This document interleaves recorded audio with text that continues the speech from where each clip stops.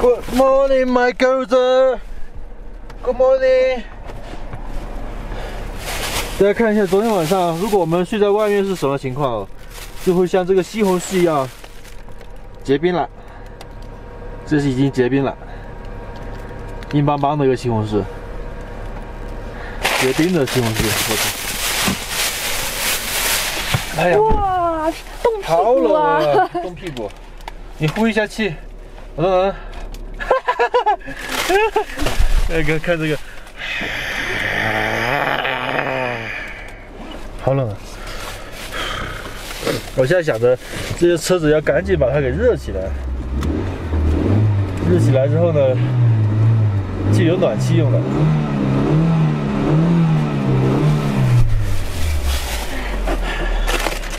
这黄瓜也是变成冰黄瓜了。我操！哎呀，不听话我就拿这个教训你。别动了，我把冷木放啥子？我操，太厉害了！嗯，这泡芙还没硬，应该有暖气了，先吹起来再说。终于，幺零九国道西藏的前半段跑完了，这里是西藏跟青海的交界处。好冷啊！我到了这里，稍微来说比较好一点了。跟大家去看一下这边的冬天就要来了。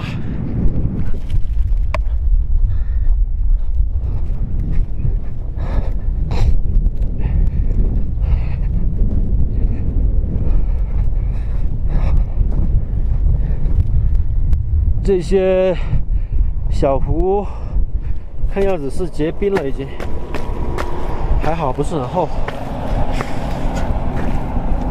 哦，呵呵，呵呵，呵呵呵呵，嘿嘿嘿。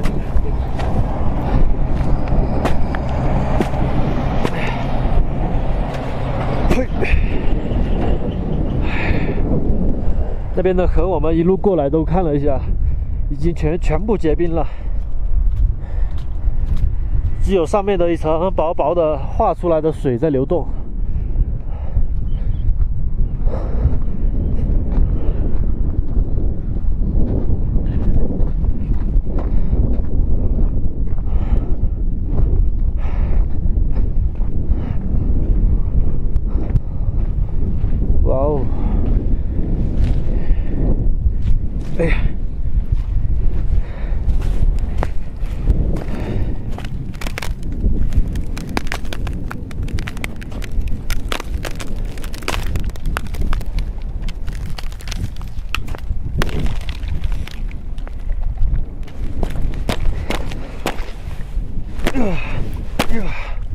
好硬啊！结冰了。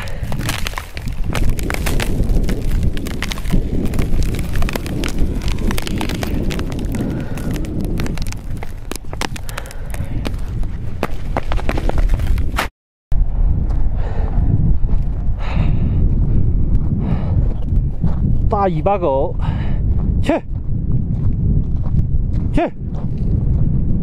去，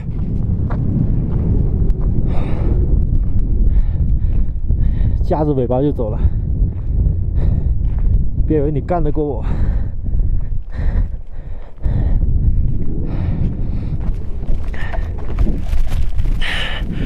现在我的这车子呢，终于终于是出状况了。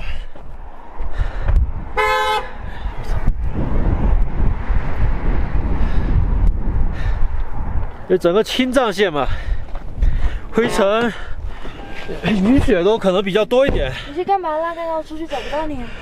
后面的那个冰，后面那条河已经结冰了，我可以在上面走了。我的车子终于是出状况了，这么久。这是终于是车关了。不来水了。结冰了吗？结冰了。连那水箱都已经结冰了，等一下下去看一下什么情况。等一下，它天气太阳大一点，就把那个水给融了嘛。加点水吧，让它早一点。不然的话，车子玻璃上面好多脏东西都刮不干净。这只傻狗应该是闻到洋芋的味道了，我看一下它有没有鸡鸡。哎，嘿，傻狗，看一下，应该是公的。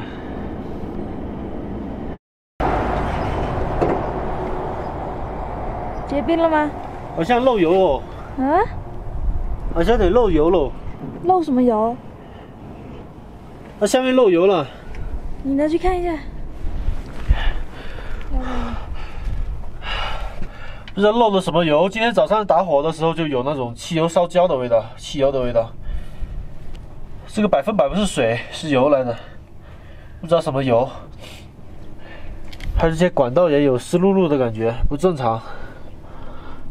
水箱在哪？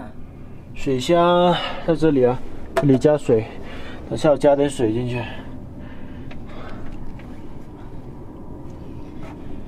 不过缸盖这里是没问题，缸盖这边没有什么漏油的感觉。哎呀，他说出了外面要好好检查一下了。对啊，跑的这条路线主要是太烂了，全部都是错板路。是不是到格尔木那边去看一下？好，帮我拿一下，我去加油。加水。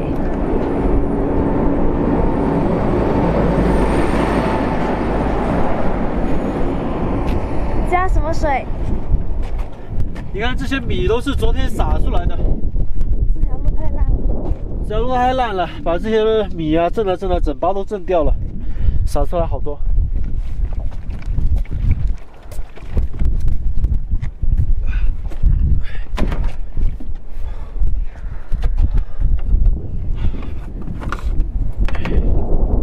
哇，好冷肯定冷啊！你想一下，水箱都结冰了，能不冷吗？啊！小心点倒，这样倒啊！盖子你都没打开，我打开一下，这样倒不行的。可以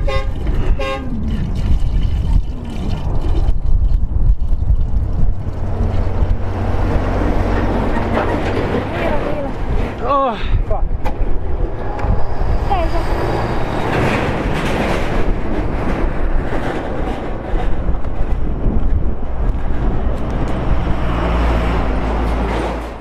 趁我们的车子正式拉入报废厂之前啊，总结一下，它现在总总共跑了多少条线路？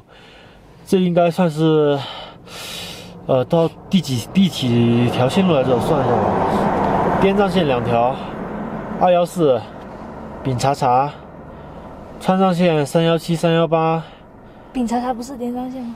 青藏线也两条，新藏线二幺九一条，对啊，就算在里面了嘛。总共这已经是第七条线路了。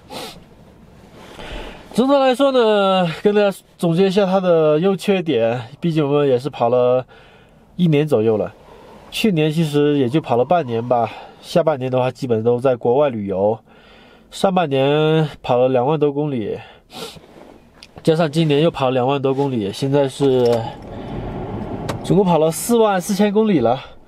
其实，在路上的时间可能就应该有十个月左右啊，十个月到十一个月左右。这辆车嗯，平均每个月跑四千多公里，总的来说还是比较满意的。毕竟带我们跑了这么多的烂路，见识了这么多的地方。它最大的优点呢，就是还算是比较皮实。虽然说现在是有点漏油啊、漏水啊，但是不清楚它是哪里漏出来的，所以也不能做出一个判断。说不定是震得太厉害了，把那些水箱的水呀、或者冷却液啊什么的震出来也不一定。但暂时来说的话，它还是没有把我们撂在路上。没有撂在路上，一次都没有。不过有一次好像是在新疆的时候，很尴尬的。丽琴叫我不要把这车子开到路边，我就偏偏不听，我就把它开到路边上去了。旁边路基那些都是很很软的沙土，对啊然后开到旁边去就起不来了。就旁边的路基啊，连路基都不能停，对，一下去就整辆车起不来。这也暴露了它一个很大的缺陷，那就是不是市区，也不能说是它的缺陷吧，算是我们的缺陷，没没有加够钱嘛。很多地方的那些呃上陡坡的路，我们这辆车都能上去。对啊，但是如果现车的话，是完全一点办法都没有。还好当时是有个大哥出手相救，用他的皮卡把我们给拉上来了。呃，如果不是那一次的话，我可能也会在敦煌那里栽栽坑，就是前段时间闹得很火的，呃，敦煌那个什么厕所陷进，呃，下去就陷了，然后要两千块救援费那个。这个那一次我也是差点上就下去上厕所了，那群又拼命提醒我，他说不要下去，不要下去，下面全部都是沙子。然后我这还真没下去，如果下去的话，这就真的完蛋了。那时候还还没有人管那个。呃，还有一个就是，总的来说省油方面还算是比较省油的，在在内地的话大概也就七个油左右，在高原的话也就我看一下，六个油左右，六个油。平均百公里的话，也就六个油，基本上一公里也就三四毛钱吧，非常的省油。我们跑起来的话，基本上每天也就加一百块钱油费就够了。地勤每次都是因为加油的事情跟我吵，我就很烦他这样子。每次他都不加满，然后每次就是差不多快没油了，又又拼命找加油站。我觉得其实，在高原呢，它有一个气压的问题，会导致。有时候加油不可能全部加满，或者说加满了的话，因为它载重量会多上那么几十几十升嘛，所以油耗更高一点。我就，呃，你就是孤寒，还好吧？我觉得还好。这一方面呢，我确实也要好好的反思一下，也要改正一下了。这丙察察就上过这样的当了，而且不是一两次。是看见加油站不加油？对，在藏区这边，如果遇到加油站的话，嗯，不要像我一样啊，我是一个反面教材，我还打算一直反面下去。呃，大家见到加油站的话，就尽量把油给加满，跑的话基本上不会有任何的问题。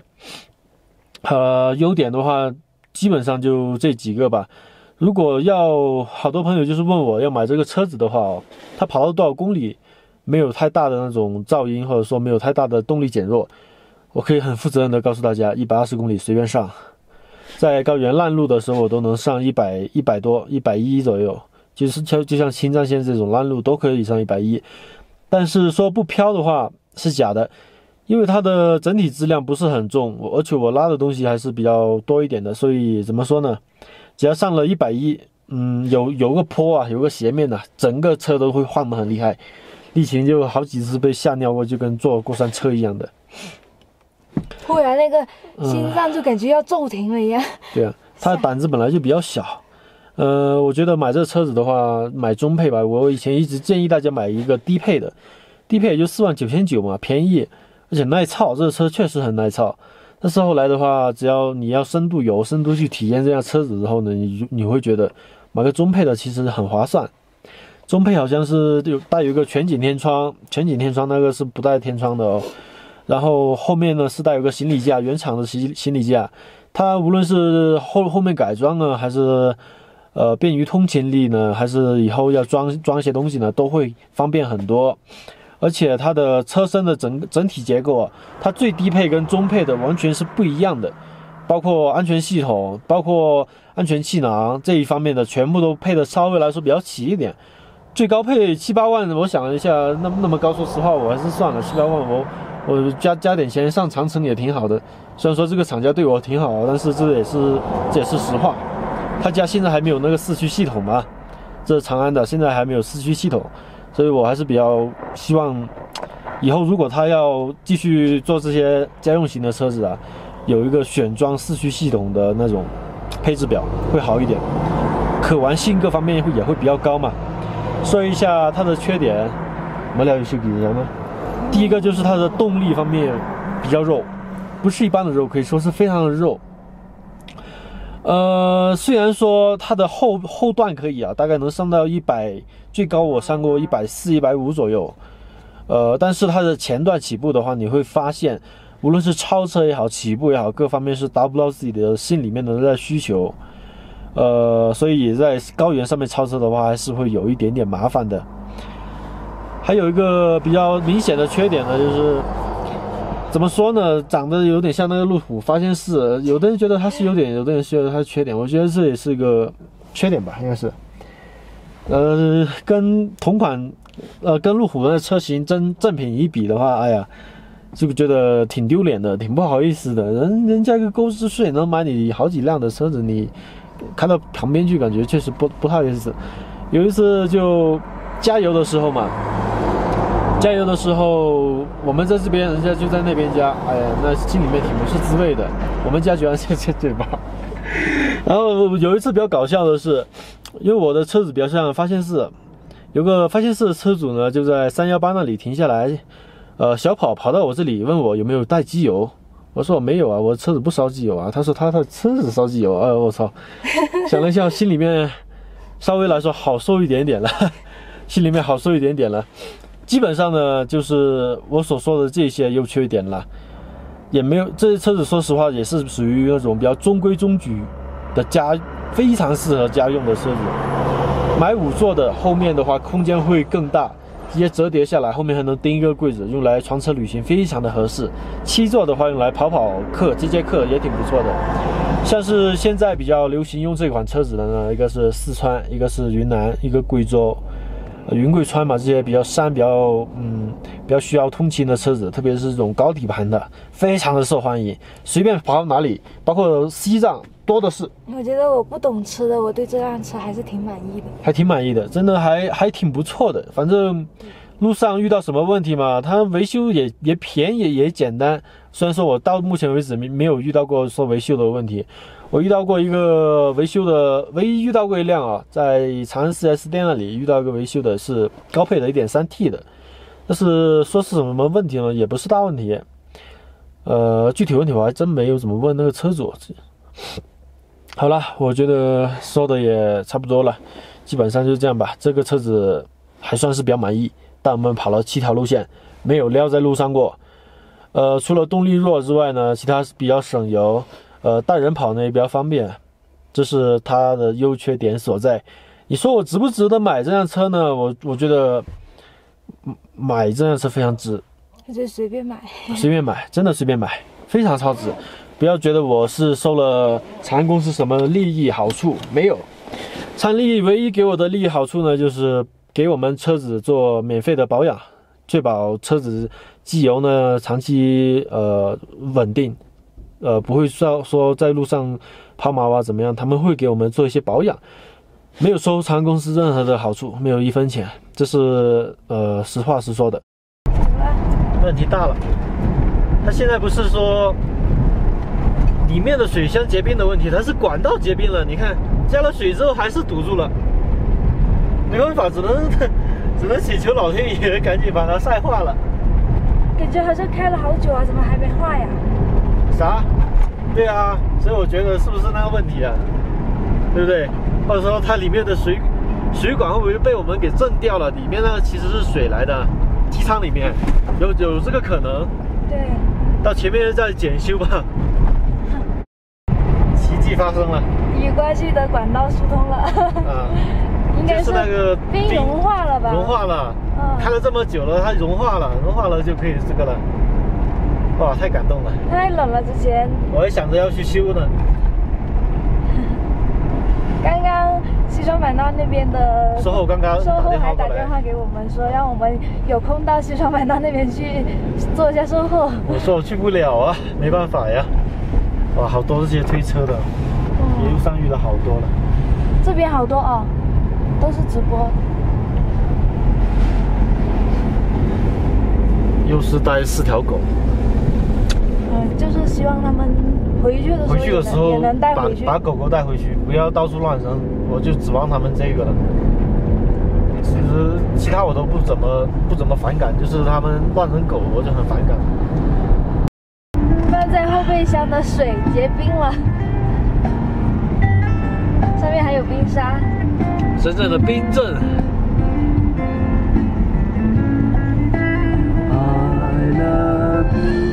拍不到我拍到瓶子里面了，你别吐出来那么恶心。这里应该是不动卷吧？不太清楚。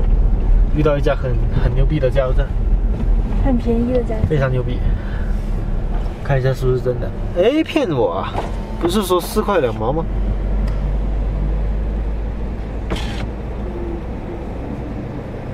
啊，你好。他前面不是说四块两毛吗？啊？四块两毛的有那边。好。哦，在前面啊，哪里啊？在前面加油站四块两毛。我操，我四块两毛，我不加我加五块五毛的，我疯了。其实到了青海这边，油价便宜也是正常的。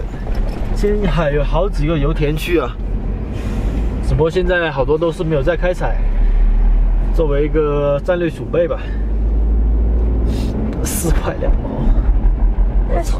刚刚前面讲的不是这个加油站吗？前面讲的是这个呀，但是过来这边他又说是前面那个，我看一下吧。我操是这个吗？这家的服务更牛逼，油价不知道多少，但是人家吃加油还包快餐的，哎，没听过？免费快餐免，费快餐，真的假的？真的肯定是真的。我吃了饭了，我还吃什么快餐呢？看一下多少钱加。我好像全部都是免费洗车，哇，好好值啊，感觉在这边加油。看一下多少钱？五块四毛，五块四毛？不是这边吧？应该不是这边吧？你要加就加，不加就走了。还是有点高，我再看一下。我操！我要把它加满了。我我如果要加个三十升油是吧？一一一升升个省个一块钱，那就今天晚上的晚餐都有了。你先到最前面去看一下多少是哪个油站嘛？他说的就是中原呢，那为什么他赶我们走？你没有赶我们走啊？他说前面才是，结果前面也不是。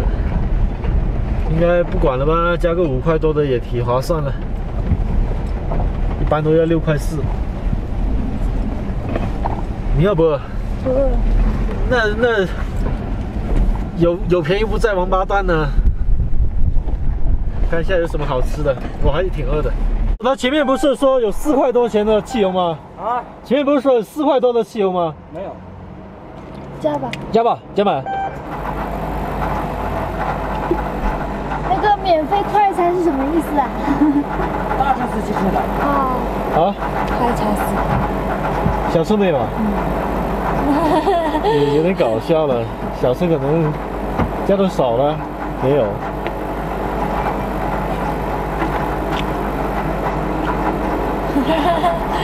贪小便宜。我想下去看一下，我看一下，干什么？看一下，看什么？看一下，看快餐啊。它上面打的是柴油只要四块钱。嘟嘟嘟呃，哥们哪好玩？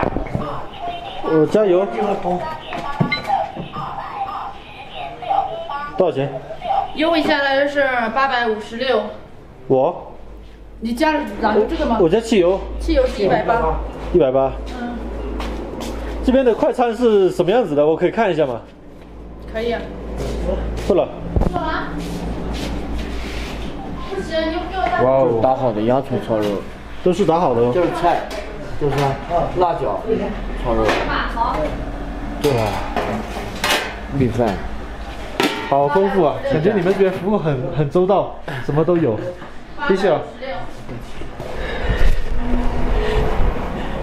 走了，这个是专门供给大货车司机，哎，可以理解嘛，他们跑长途也挺辛苦的，并且人家吃的也挺好哦。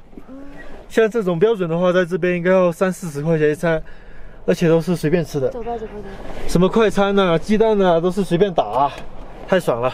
好了，喜欢我们视频，请关注我，拜拜